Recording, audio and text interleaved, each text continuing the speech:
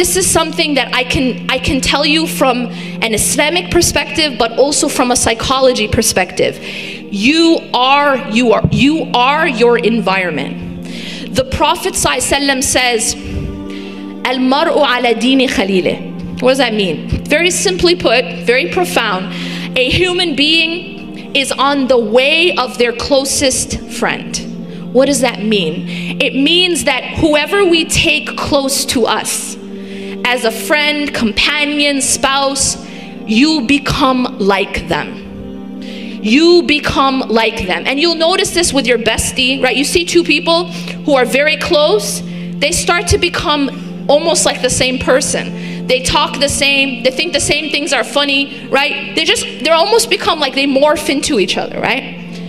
This is the nature of the human being. You become like those you take close to you. In another hadith, the Prophet ﷺ says that a person who has good companions or good environment is like someone who enters a perfume shop. How many of you have ever gone into Bath and Body Works? Like zero people? Okay.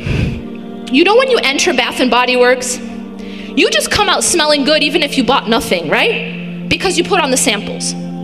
Am I right? You're like part cucumber, part vanilla, part flowers.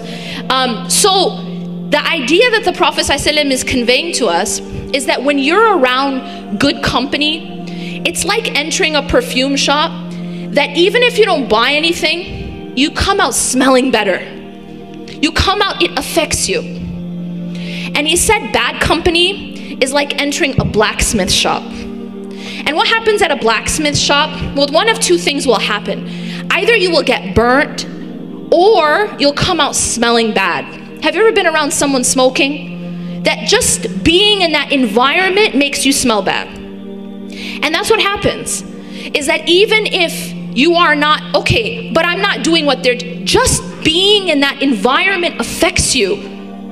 It affects the state of your heart.